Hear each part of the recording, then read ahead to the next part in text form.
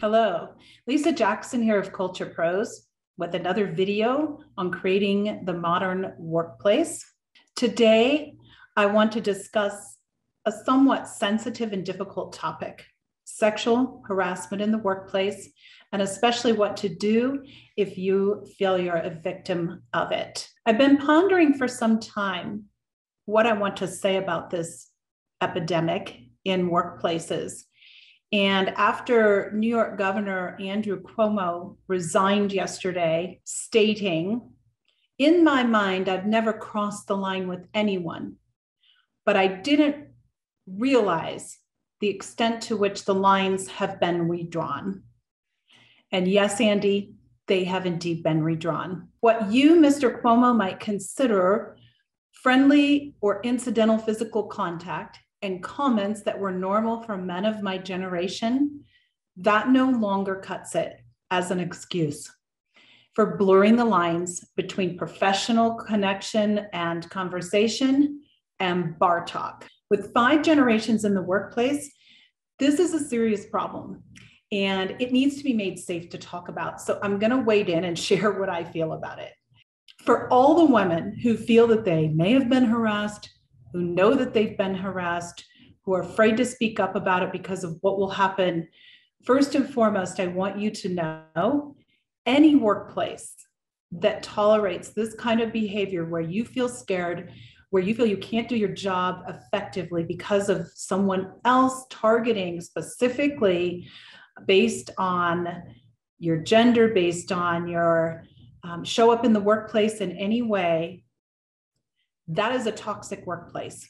That is not a great place to work. That is not a best place to work. And if your company has that designation, please don't be confused. If that's tolerated in your organization, it is toxic.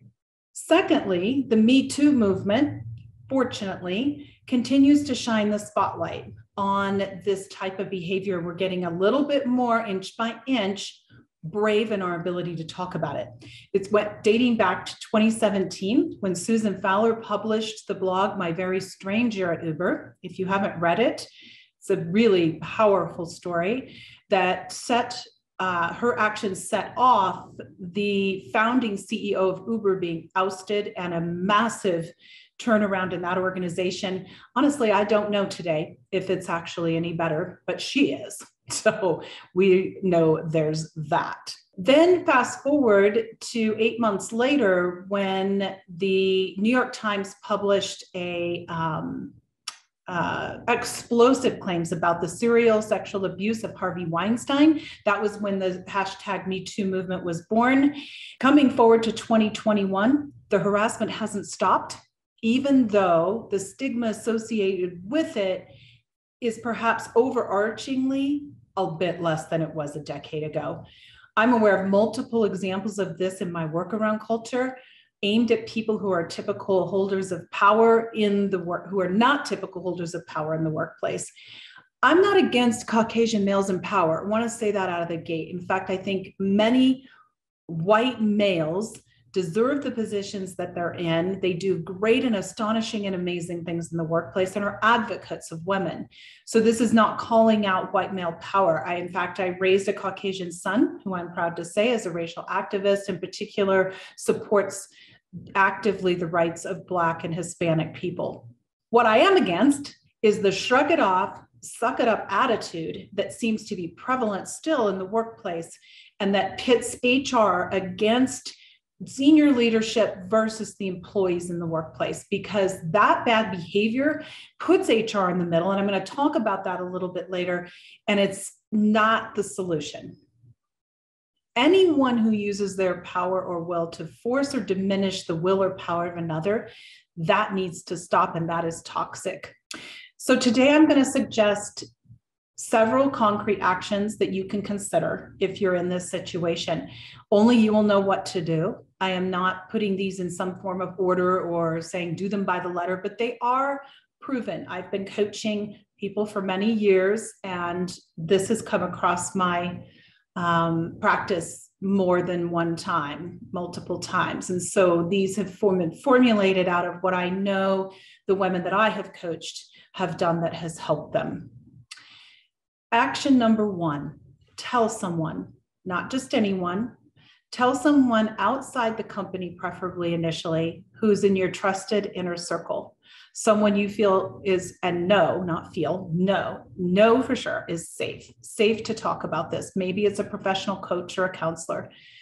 Giving voice to the fact this happened is one of the hardest steps to take because for many, it it really surfaces this shame, this feeling like, did I cause this? This the, the feelings that go along with having been through um, a very, very um, diminishing and defeating experience in your life. So know that telling someone makes it real and giving voice to the fact that it happened I wouldn't start with the HR department in your company. I've spoken earlier a minute about that for two reasons. The first is they work for the company, not for you. And that doesn't mean that they aren't caring about the people in the organization.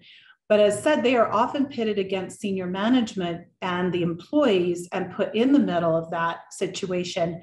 And depending on whether they've been there for a long time they may even be a part of the culture that's creating this environment. I know that was certainly true in the case of Susan Fowler at Uber. The most powerful thing about this step, this action is that you are not imagining this, that this is real. So telling someone brings a voice to it and creates an opportunity for you to start healing. I thought it was a really powerful story. Ellen DeGeneres was recently interviewed on David Letterman's uh, My Next Guest show, and she revealed that her stepfather had perpetuated serial abuse on her during her teenage years. And she said, The only reason that I am coming forward in such a public way to share this story is because I want young women everywhere to understand and know this is not okay, and this is not normal. Action number two write down what happened. And in this, I would suggest that you do it in a journal, that you don't do it on your computer, especially not your work computer. Um, but get get clear about the facts and the feelings and the, do your best to pull the two apart. Initially, if it were me, I would just be writing and I wouldn't worry about sorting that out. But you do want to have somewhat of a account, a factual account in case there is action taken later. The fresher that is in your memory, the better. Action number three this is about claiming your power. This is not about blowing the whistle. So, really, really important to make the distinction between those two things and pull those apart. One of the biggest reasons that mad men behavior continues in workplaces is because men get away with it. If you're in a place of personal power, you're not scared of what someone else is doing to you. You're not scared of what they're thinking. You're not scared of the retaliation. You're not scared of losing your job because it's worth far less than your own self respect. I know claiming your power is not always easy. It may not begin with a legal claim or an HR report. It may begin with you getting clear in your own experience what happened. And my plea is that you won't shrink from it, that you will find a way to talk to yourself in kind terms about this to own the power that you have from within. Listen to media that helps you do that. Find examples of others who've been through this and who have done that. It's important that you start to heal through claiming your own power in this. Whatever that leads to, allow it to unfold. Action number four if you have a professional colleague who is in the HR field that's outside the company, I would start there. And th- there's a lot of different rules around this, around workplace behavior, varying from state to state, understanding what the legal environment is, what could or might happen. If you want to hire a lawyer, that's great. Um, it, it's really just in your own experience gaining the knowledge of what the legalities of it are and what the potential step by step process is if you do choose to come forward. As I mentioned before, HR is often caught in this middle um, between the backlash of senior management in the organization, especially if it's a senior manager or a high performer that is the perpetrator in this case and the people. And most HR people will tell you they really feel caught in the middle in that conundrum that it isn't just a simple, well, I need to support the company, I need to support the person. It's a very difficult position to play that they are placed in. So if you can find someone outside your organization um, to help be on that can be honest with you, that's ideal. Action number five is simple. Make a decision. This is blow the whistle or leave. These are really the only two choices to ensure that this kind of situation doesn't happen to you again in this organization. You may have to endure a period of time before you make that decision. Only you can know again, but don't put the decision off hoping that the thing will just get swept under the carpet because it won't. Action number six don't allow anyone to minimize what happened. Oh, that's just boys being boys or similar cliches, usually offered as mansplaining by either men or women whose attitude is, I put up with it and so can you. Cuomo denying his accusers while conceding, I offended some of my accusers with what I considered friendly or incidental physical contact and comments that were normal for men of my generation. It doesn't cut it. If you're uncomfortable with how you're being treated in the workplace by someone in power, the workplace is toxic, whether it's sexual harassment or just plain abusive, coercive, demeaning, bad boss behavior. And you should remove yourself from that situation because you're worth more. The only way harassment in workplaces will end and be eradicated for the long term is when there's a real consequence behind it. Action number seven ensure that you have the support to stand your ground. Susan Fowler, Christine Blasey Ford, the New York Times journalist who exposed Harvey Weinstein, Ellen, none of them were prepared for what would happen to them as a result of speaking up. But every one of them had a support around them to, neg- to navigate the storm. Find your tribe and get support. Action number eight expect blowback. That's part of the that's part of the pushback in any big change you're going to have those two forces colliding.